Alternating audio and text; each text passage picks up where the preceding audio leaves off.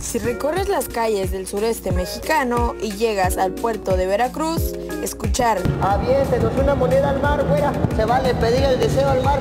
es uno de los gritos más comunes cuando te posicionas en el malecón del puerto, donde hombres de distintas edades hacen de esta explanada un espectáculo de clavados al arrojarse al mar por una moneda y ofrecerla a propios y turistas, una tradición que por más de 60 años ha sido característica de la región.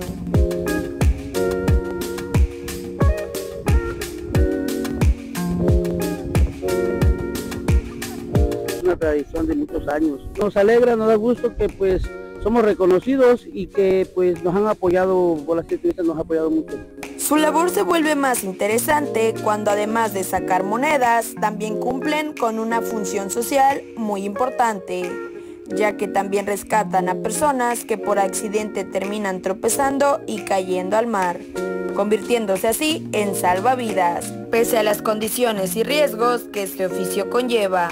Complicado porque la verdad te, te arden los ojos, te lastimas la vista con el agua salada. La verdad hay peligros abajo que te puedes cortar con las piedras filosas o, que te lastime un, un erizo. El agua de sal te- con el tiempo te va este, dañando los pulmones, te va dañando la vista.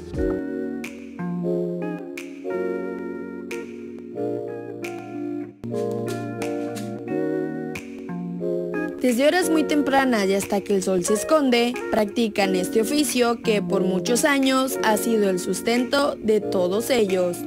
Y por muy riesgoso que sea, su mayor satisfacción es asombrar y sacarle una sonrisa a todo aquel que se acerque. Esto fue Cuéntaselo a Isa para Televisa Univisión, Isabel Gallangos.